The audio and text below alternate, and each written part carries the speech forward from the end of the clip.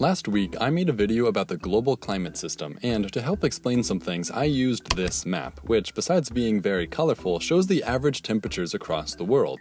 And, well, when I first found this map, I immediately started looking it over for interesting details, and soon enough, a couple hours had gone by, because, you know, time flies when you're having fun. But during this time, I began to think about climate and how it might affect human behavior. Specifically, I started trying to figure out if there was one climate in particular that was optimal not only for the survival of humans, but for the construction of advanced human civilizations, because this is the type of stuff I like to do in my free time. In short, what temperature, if any, supports human development the best? Before we get into it, real quick, I want to talk about human biology. Typically, our bodies prefer to keep an internal temperature of around 37 degrees Celsius, or nearly 99 degrees Fahrenheit. This is so that all the enzymes and such in our body don't denature and we can continue on, you know, functioning and living. So, knowing this, you would expect the optimal temperature for humans to live in to also be around 37 degrees Celsius. But if you've ever actually experienced 37 degrees, you know that it's hot and miserable and nowhere near the ideal temperature for humans.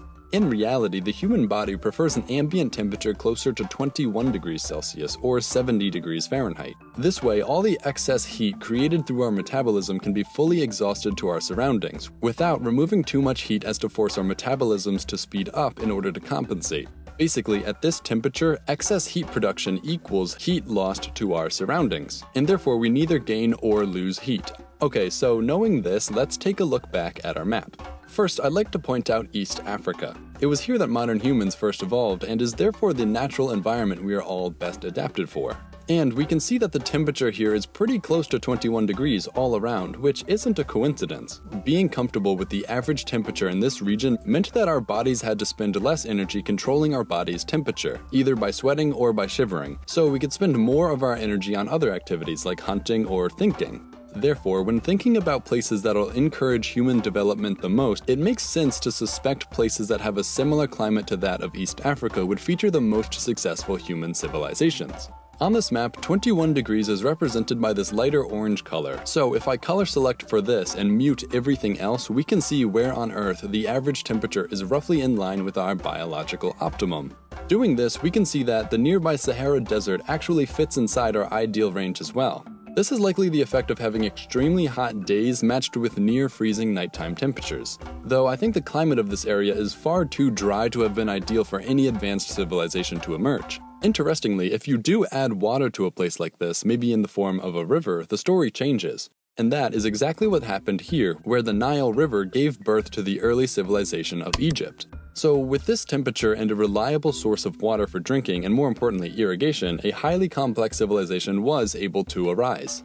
The exact same is actually true further east as well, where we'll find the only complex civilization which predates Egypt, Mesopotamia. But again, most of this temperature is actually found further south in the Arabian desert, while the part that was densely populated for the time relied on rivers, the Tigris and the Euphrates, to thrive.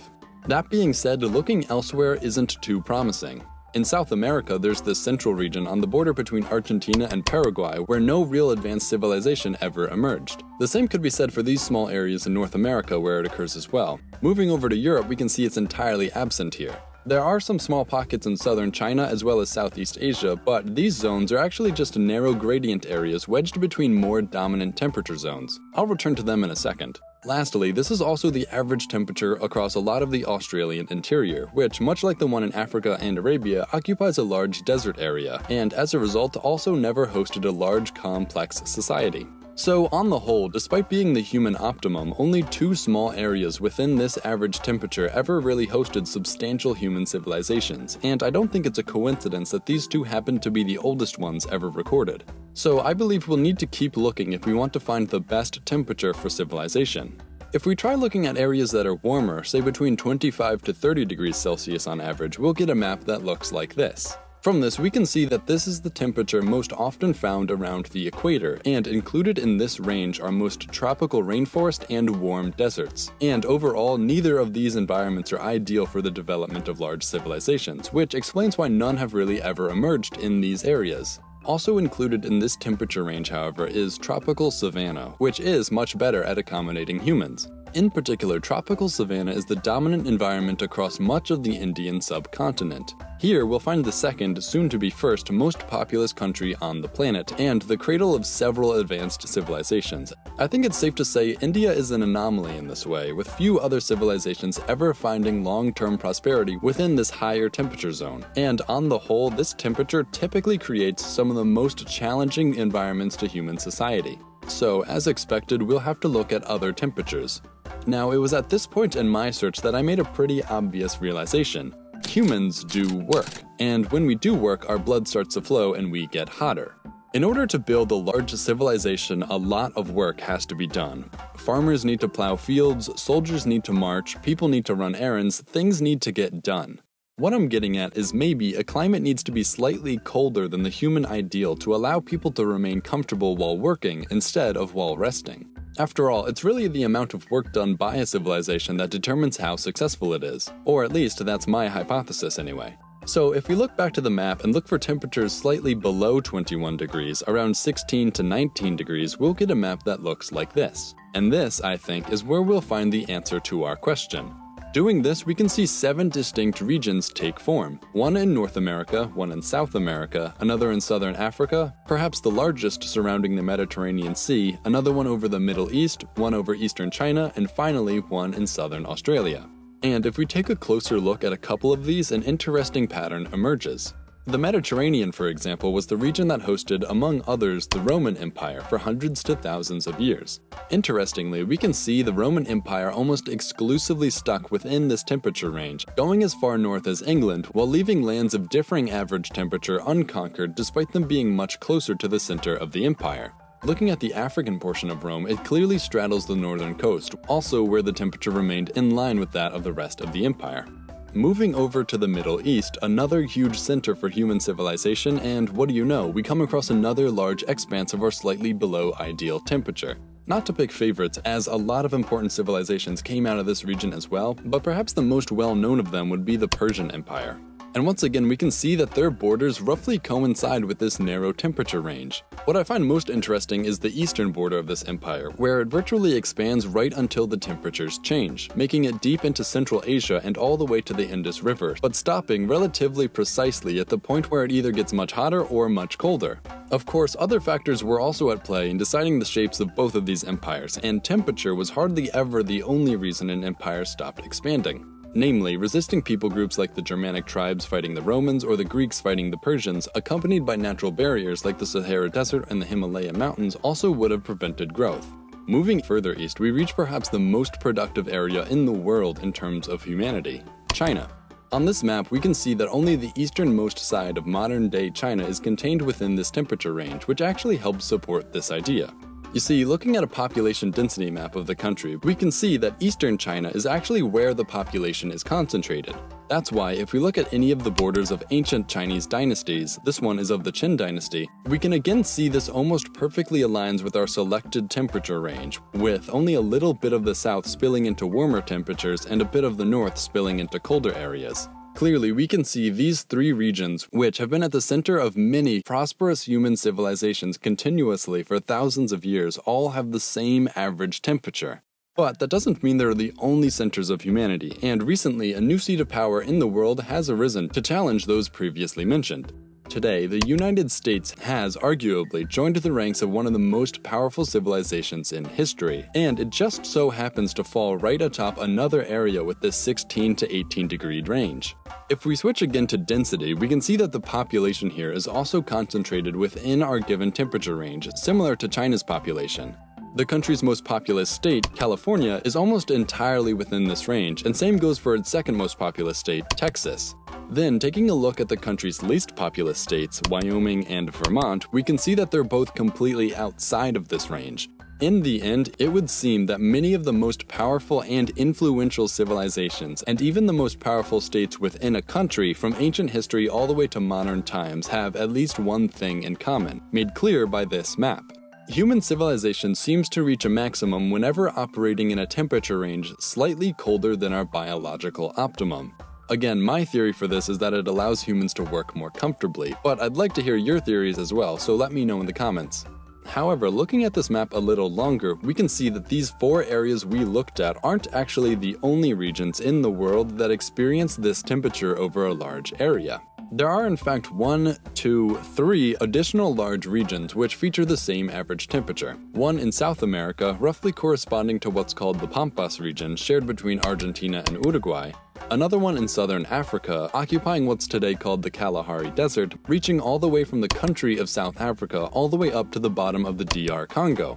And then lastly, we have another one stretching across the lower half of Australia. So, once I got to this point, I was left with the question why didn't these three regions ever host a similarly successful civilization? After this, I started doing more in depth research, but I couldn't find anything focusing on these specific regions or these specific questions. But I have an education in environmental science and geography, so at the very least, I can try to figure this out on my own. Obviously, this is a complex question, and any answer I come up with will be an oversimplification. Also, I'm open to other ideas and opinions. That being said, I believe the biggest factor which restricted the formation of advanced civilizations in these areas to be isolation. Looking at these three remaining regions, each one of them hides behind several natural barriers and would have been difficult for people to reach in the past. The Pampas region of South America, for example, was tucked behind both the Amazon rainforest and the Andes Mountains. As migrating humans came in from the north, these likely provided too great of a barrier for significant populations to settle here, and therefore left the region largely underpopulated for most of history. Moving over to Australia, the same can be said, where early migrating humans would have had to cross tremendous obstacles to even find this area, let alone settle it. Above this is the Australian outback, a mostly desert region. Preceding that is the ocean, another difficult boundary to cross. And what islands there were for people to make the journey on were covered in dense rainforest, providing three challenging barriers to the discovery and wide-scale settling of such an area. Lastly, we have the region in Africa that roughly corresponds to the Kalahari Desert. And that should be your first hint, as an ideal temperature isn't the only thing necessary for an ideal climate. Even the name Kalahari comes from the Tswana word Kagalagadi,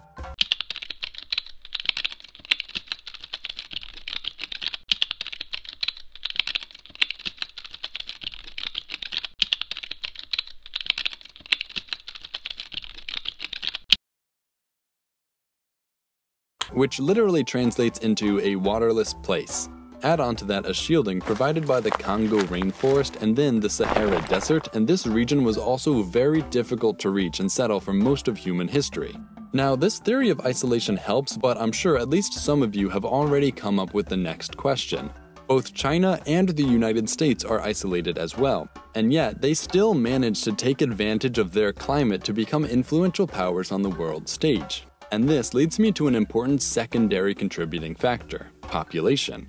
Today, all of Europe has a combined population of around 740 million people, while the Middle East hosts around 410 million. Meanwhile, China alone today contains nearly 1.4 billion, more than both of the other two places combined. Of course, these proportions were a little different thousands of years ago, but for the most part, China has always had a massive population, one that was large enough to sustain technological advancements on its own without the need for cultural exchanges. Meanwhile, the Middle East and Europe, each one individually smaller than China, traditionally relied more on trading of different ideas and technologies between each other. I think the United States proves both of these points very well, as prior to 1500, populations here were relatively low and isolated, a worst case scenario, you might say. With no influx of new ideas, and without enough people to truly drive its own advancement, the nations here stayed small and ununified. But after 1500, this isolation ended when transatlantic exchange with Europe became possible, and once an influx of people through colonization and immigration occurred, another seat of power in the world was created.